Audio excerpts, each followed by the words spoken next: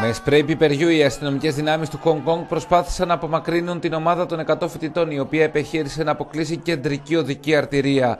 Οι διαδηλωτές χρησιμοποίησαν και πάλι τις ομπρέλες τους ως μέσο για να αντιμετωπίσουν την επίθεση που δέχθηκαν.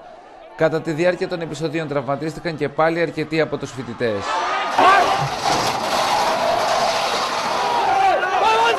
Οι νέες ταραχές ξέσπασαν εν μέσω καταγγελιών για την προηγούμενη επέμβαση των αστυνομικών δυνάμεων και για ξυλοδαρμό φοιτητών. Ένας εξ αυτών εμφανίστηκε σε συνέντευξη τύπου για να δείξει τα τραύματά του, επισημένοντας ότι αναζήτησε νομική υποστήριξη μετά τα γεγονότα της περασμένης νύχτας. Έξι αστυνομικοί ελέγχονται για το περιστατικό, καθώς η δράση τους έχει καταγραφεί σε βίντεο ντοκουμέντο.